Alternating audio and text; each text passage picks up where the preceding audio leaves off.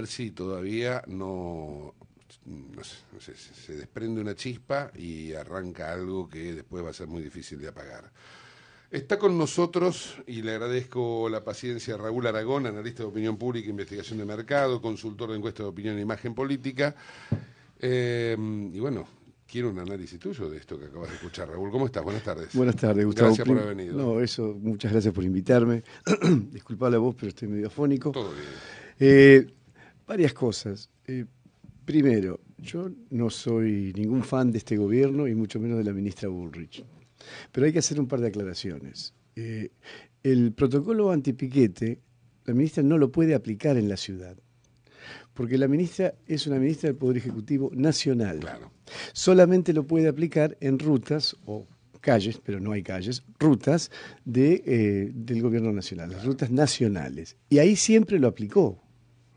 El que tiene que aplicar el protocolo antipiquete en el caso de un piquete un corte en la ciudad de Buenos Aires es el gobierno de la ciudad de Buenos Aires. Básicamente lo tiene que decidir el jefe de gobierno, Rodríguez Larreta. A través del ministro de Seguridad, Martín Ocampo. Exactamente. O sea que ahí hay que hacer una aclaración. Yo insisto, no es por defender la- a la ministra Bullrich, ni es por defender a este gobierno, pero ella no tiene competencia para hacerlo.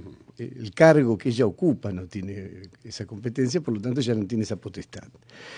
Por otro lado, es cierto que en el 2001 el pueblo se movilizó y echó a un gobierno. Eso es verdad. Eso es verdad. ¿Cómo calificamos eso? ¿Lo podemos calificar de un acto democrático, lo que, lo que hicimos el 20, 19 y No. 20? Ay, bueno, esa, yo creo que esa es toda la discusión, ¿no? Eh, hay límites, porque el, el problema está en los límites, es decir, tuvimos 27 muertos entre los protestantes y entre los manifestantes, ningún herido o muerto dentro de las fuerzas de la represión que reprimieron en ese momento. Eh, esto habla de un, acto relativamente pacífico, una congregación, una movilización muy pacífica de parte de la ciudadanía. Pero de nuevo, ¿cuál es el límite? O sea, uno tiene un gobierno que no le gusta lo que está haciendo en lo económico, por ejemplo, suponiendo que esta fuera la calificación del gobierno de Mauricio Macri. Eh, ¿Legitima una movilización como la del 2001? Bueno, es una pregunta, sí, no, lo que sea. Ahora, tenemos un gobierno que secuestra gente, la reprime y la mata. ¿Justifica una movilización? Por eso digo, depende de las circunstancias, Claro, si es claro. democrático o no. ¿Cuál es matriz del problema? Claro, ¿no? ¿cuál es el límite? de- de- Entonces, lo que dice este muchacho, que no recuerdo el nombre, este, Juan Carlos Beica, Juan Carlos Beica, profesor eh, eh, de secundaria en Lanús. en Lanús, él eh, toma un hecho que estaba legitimado o que podría legitimarse en un contexto y lo traslada a otro contexto y pretende que tenga el mismo grado de legitimidad. Y eso es, en términos de argumentación lógica, una- lo que se llama una falacia lógica. Eso no lo puedes hacer en términos lógicos. Está mal como argumento. Claro. Así que a mí me preocupa eh, el que eh, grupos de este tipo puedan operar como oh, deflagrantes, como catalizadores de un grado de insatisfacción y de tensión social que generó en gran parte este gobierno también, si seamos justos. O sea, vos sabés que en el conurbano el 41% de los menores de un año eh, sufren desnutrición, es- pero esto es un dato del, del oficialismo, o sea, no es un dato mío. Eh, el, el 85% del presupuesto de una familia de bajos recursos está destinado a comida. La comida tuvo 55% de aumento. En fin, se han generado una serie de tensiones sociales. eh, yo creo que por descuido, no porque no creo que porque sea insensible, sino porque se equivocaron, es un descuido lo que hicieron el gobierno y es muy posible montarse, darle forma a esa tensión social. Yo esto lo vengo diciendo ya desde hace meses que si el gobierno no hacía algo para bajar la tensión social en los sectores de menores recursos, sobre diciembre corría el riesgo no de un estallido espontáneo, sino de una convocatoria de parte de sectores muy ultramontanos a producir una protesta que puede convertirse en un estallido. ¿no? Claro, claro.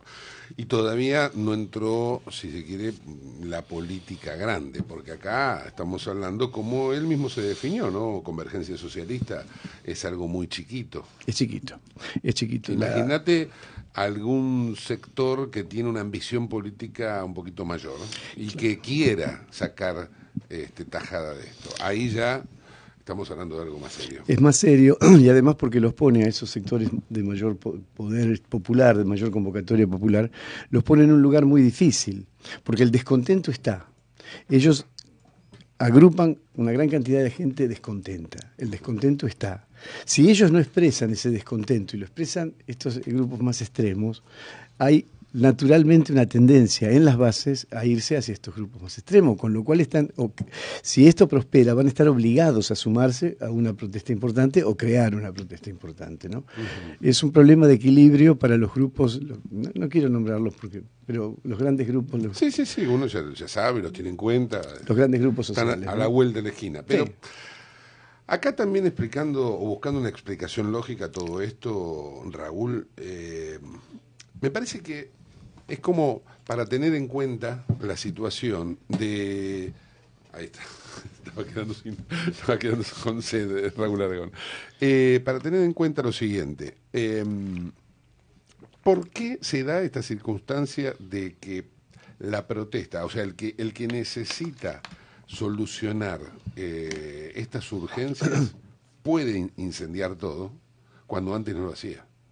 Porque ese 41% que vos me hablas de desnutrición no lo generó este gobierno. No, no, no, seamos justos también. Ya viene ya viene sedimentándose. este gobierno lo incrementó un poco, pero no lo generó. ¿Qué pasa en esa gente que el año pasado no protestaba de esta forma, y el anterior y el anterior? ¿Qué operó en ellos para que ahora proteste? Y lo que operó en ellos es que el mismo liderazgo que hoy lo lleva a la protesta, antes lo contenía. Lo que, lo que, cambia es la dirección del liderazgo. La protesta siempre estuvo. El, 41 de desnutrición, el 30 y pico de pobreza, que se aumentó. Es verdad que este gobierno aumentó dos, más o menos dos millones más de pobres. Eh, eso es verdad, esos son números de ellos. Sí, sí, sí. Pero eh, la diferencia es que como las dirigencias de esas agrupaciones tenían cierto grado de llegada, de acuerdo, de connivencia, de ventajas o como quiera llamarlo, con la gestión anterior, hacían para contenerlo. Ahora no la tienen más, entonces se corren de esa protección. El, presidente Macri, a través de la ministra de, Acción Social, eh, con un buen tino, destinó 30 mil millones de pesos a lo largo de tres años para las organizaciones sociales, para distintas actividades que van a tender a crear fuentes de trabajo, etcétera, y aliviar un poco la situación de esa gente. Pero ese fue el error, uno de los errores más graves de Macri. El, cualquier economista le, le hubiera dicho que vos aumentás el dólar de 9 a 14 y el impacto sobre la alimentación es tremendo simultáneamente era necesario hacer eso, era necesario sincerar la tarifa, pero simultáneamente tendrías que haber creado una red de contención social. En vez de crearla en el mismo momento en que produce la inflación, deja pasar todo el año y tiene que terminar negociando con las organizaciones sociales y termina dándole poder a las organizaciones sociales. Si él lo hubiera hecho de entrada, ese poder lo seguía reteniendo él. Yo creo que el déficit mayor de este gobierno, eh, al cual yo quiero que le vaya muy bien, porque creo que la Argentina necesita que le vaya muy bien, eh, yo creo que el mayor déficit es que no entiende la política no entienden la política. Si querés, eh, veamos un segundo el último ejemplo de lo que pasó la semana pasada en el Congreso. Claro. ¿A quién se le ocurre mandar una ley modificatoria del sistema impositivo a, sesiones extraordinarias sabiendo que no tenés mayoría? Yo te voy a pedir, por favor, Raúl, hagamos una breve pausa en este análisis eh, que ahora se desprende, que es lo de ganancias en el Congreso, porque parece que merece un capítulo aparte. Mientras tanto, eh, lógicamente tenemos que terminar de presentar el programa, ¿no? Este, vamos con los teléfonos primero. El contestador 63792030 por WhatsApp nos pueden escribir al 11 23 9189 o en las redes sociales, Twitter, Facebook, Instagram, somos arroba tormenta ok. Me interesa tu opinión acerca de los temas que venimos abordando. aprovecha ahora para llamarnos. En un ratito entonces vamos a ir con los títulos deportivos que también tenemos y son bastantes durante el fin de semana. Super clásico caliente y calientes las panchos ¿no? Así que a tener en cuenta también estas cuestiones. Hacemos una breve pausa, volvemos en instantes. En nuestras redes sociales ya estamos viviendo las fiestas. Búscanos en Facebook, Twitter e Instagram